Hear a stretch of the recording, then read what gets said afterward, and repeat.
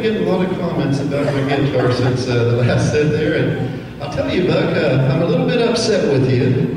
I gotta be honest here with the folks here. I've got a, a $3,000 guitar sitting over here, and everyone keeps wanting to hear the bedpan guitar. So what do you do?